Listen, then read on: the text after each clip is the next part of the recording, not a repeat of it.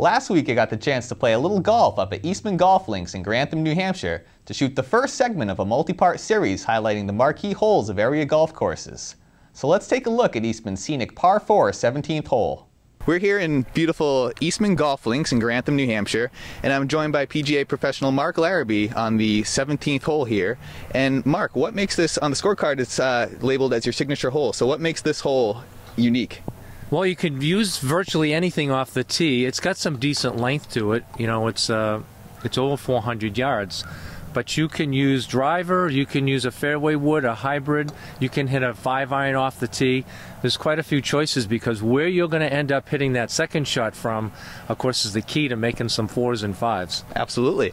So where does this hole rank as far as handicap and difficulty on the course? Well, it's in the top five. Uh, it's it's not it's not the hardest hole in the course. We can make it the hardest hole in the course, you know, depending on where we hit that tee shot. But um, it's reasonably flat and it does have a hazard out there. There's no uh, out of bounds of any kind, and the approach into the green is entirely flat. And there's a bunker on each side. Okay. Well, I've been known to make a lot of holes difficult, so let's uh, let's give it a whirl here and see uh, how it plays out. We'll do. The grounds crew was just finishing up their morning mowing when we stepped to the tee, leaving us ideal conditions on the fairway and rough if need be.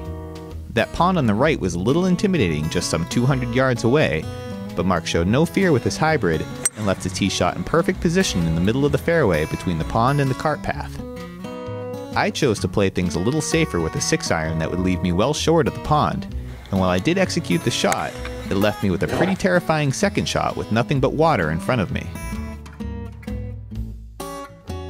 Being the nice guy he is, Mark opted to play from my location to show me how it's done.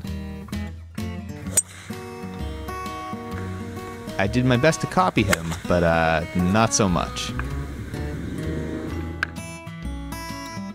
From there, we tried our hands at chipping up onto the hole's thankfully large green, and we had similar results with Mark leaving the ball about 8 feet short of the hole, and me rolling it past the flag a good 12 or so feet.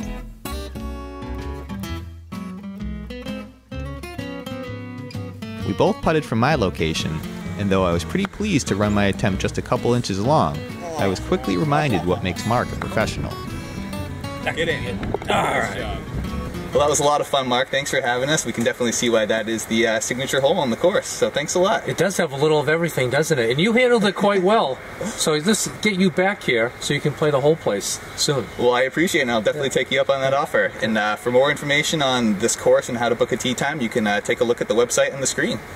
Be sure to tune in next week when we highlight the par 3 fourth hole at Newport Golf Club in Newport, New Hampshire. That does it for YCN Sports. I'm Mike Pezone.